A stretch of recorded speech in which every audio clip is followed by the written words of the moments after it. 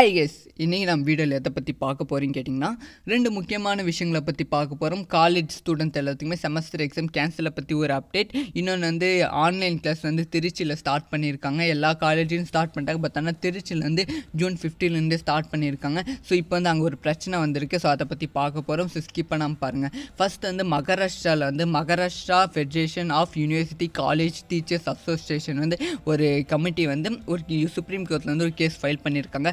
அந்த ஒரு கேஸில் என்ன சொல்லியிருக்காங்கன்னு கேட்டிங்கன்னா இப்போ வந்து எங்கள் யூனிவர்சிட்டியில் மட்டுமே பதினோரு லட்சம் மாணவர்கள் படிக்கிறாங்க. ஸோ அந்த பதினோரு லட்சம் மாணவர்களுக்கும் ஒரே நேரத்தில் சோஷியல் டிஸ்டன்ஸோட எக்ஸாம் நடத்துவது என்பது சாத்தியமே இல்லாத விஷயம். ஏன்னா வந்து அதுக்கு ஆறாயிரத்துலேருந்து ஏழாயிரம் டீச்சர்ஸ் வந்து தேவைப்படுவாங்க.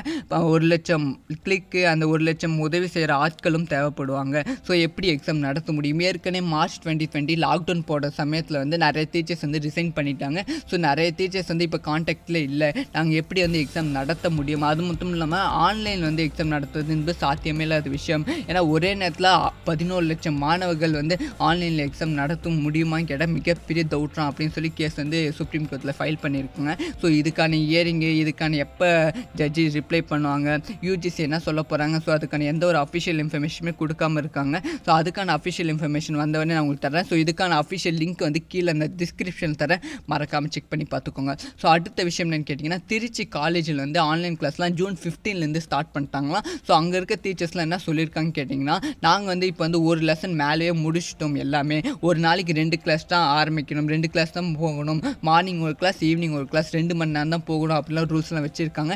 இதை சொன்னது வந்து அசிஸ்டன்ட் ப்ரொஃபஸரும் அது மட்டும் இல்லாமல் ஹெல்த் மேனேஜ்மெண்ட்டும் சொல்லியிருக்காங்க. ஸோ இதுக்கு மேலே எந்த ஒரு காலேஜ்லையுமே ரெண்டு ஹவருக்கு மேலே ஆன்லைன் கிளாஸ் இருக்கக்கூடாது அப்படின்னு சொல்லி ரூல்ஸ் வந்து கொண்டு வந்துட்டாங்க திருச்சி காலேஜில் ஸோ ஆனாலுமே அங்கே வந்து ஐநூறு பேர் பக்கம் வந்து ஏபிள் பண்ண முடியல அவங்களால ஆன்லைன் கிளாஸ் அட்டன் பண்ண முடியல. பிகாஸ் ஆஃப் ஃபோன் இல்லை மொபைல் ஃபோன் இல்லாமல் ஸோ அதுக்கும் பிளான் பண்ணி தராங்களாம். இதுக்கான ஒரு நல்ல சொல்யூஷன் வந்து அவருக்கும் தெரியாமல் இருக்கான். ஸோ இதுக்கான அஃபிஷியல் அப்டேட் வந்தோடனே உங்களுக்கு அப்டேட் பண்ணுறேன் ஸோ இதாங்க இன்றைக்கி நியூஸ் இந்த மாதிரி எல்லா நியூஸும் தெரிஞ்சுக்கணும். மறக்காமல் சப்ஸ்கிரைப் பண்ணி சப்போர்ட் பண்ணுங்கள் and thanks for five hundred subscribers இந்த மாதிரி இன்னும் தௌசண்ட் சப்ஸ்கிரைப் ரீச் பண்ணணும் and keep supporting bye guys